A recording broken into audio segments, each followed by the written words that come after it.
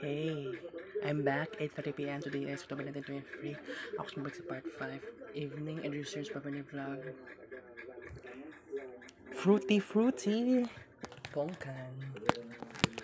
Naunta guys. Grave.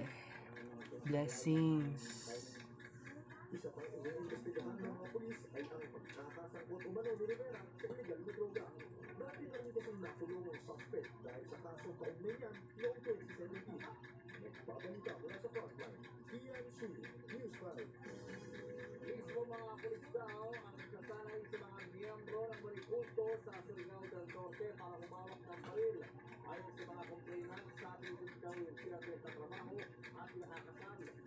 May sagot naman dyan ang grupo. Nasa front na yung balitang yan si Marlene Alcaide. Ipalipat ng Department of Justice sa Manila ang pagdinig sa tungkol sa sinasabing kulto sa bayan ng Socorro, Surigao del Norte. Ayon kay Department of Justice spokesperson Secretary Nico Clavano, isang prosecutor na kasi sa Surigao ang naging sa kaso. just because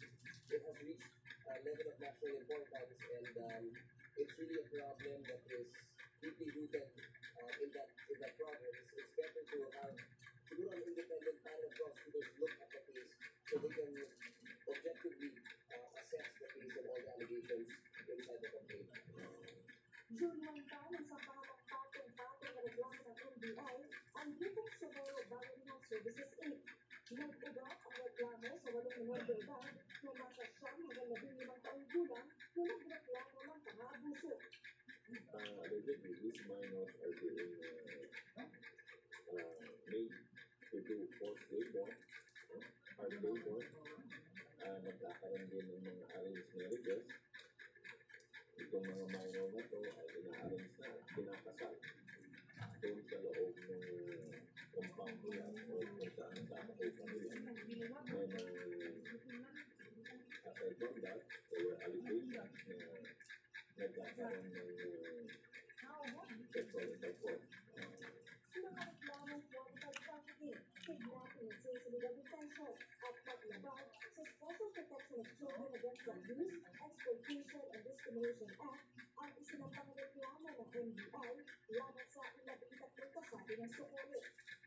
dito ang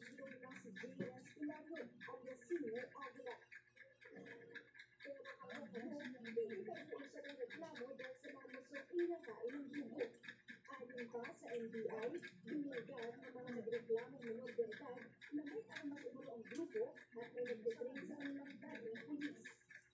And upon verification with the PNC, uh, it was certified na there were former police uh, officers o miyembro sila ng PNC. But as of the moment, they are separated from the service. Either they will resign or they will dismiss uh, this. At ito daw yung nagbibigay ng uh, allegedly pagsasanay sa pamamagitan ng armas at sa mga military uh, or police drills. Pero ayon sa grupo, tumagawa lang ang mga akusasyon. Wala raw ibigay, walang droga at wala raw silang mga armas. At totoo nga, meron kami mga dating police dito, pero hindi naman natutuloy ng ano. Wala naman, wala naman kami ano, pero pistol uh, laban dito. Dagdag pang grupo, nasasaktan sila sa mga akusasyong ibinabato sa kanila, pati na ang pagtawag na grupo. Nakapunta na rin daw ang PNP sa kanilang lugar, pero wala naman daw nakita. Bukas daw silang ipakita ang kanilang lugar para mapatunayang walang nangyayaring kriminal sa kanilang lugar. Handa rin daw silang humarap sa investigasyon ng Senado. Pinaiimbestigahan na ng PNP ang sinasabing punto sa Surigao del Norte. Samantala, sa pagbibigyan sa Senado kanina, kinumpirma ng DSWD na nagiging limang daang beneficiaries ng Pantawid Pamilya Pilipino Program o 4Ps sa buong barangay sa Socorro. Pinaiimbestigahan na kung totoo ba ang lumalabas na impormasyong kinukuha umano na sinasabing kulto ang kalahati ng pera ng tatanggap ng mga benepisyaryo. Nagbabalita mula sa frontline, Marlene Galde, News 5. Narito na ang motosiklong ginamit ng mga suspect sa pananampak sa isang abogado umaga nakita ang pulang motor sa matarik na bahagi ng Kasamata Hills, Zone 5 sa Bangged. Sa investigasyon ng of Special Investigation Task Force, dito ulit nakitang dumaan ang riding in tandem na namaril kay Attorney Maria Sanyata Lirviva Gonzalez Alzate o Attorney noong Webes. Lumabas sa Isa na kabukliso.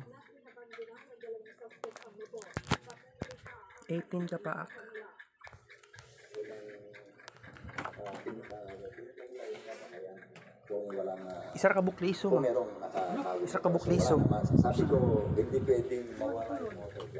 Wala akong tulon eh. Balik ko taod-taod guys. Thank you for watching.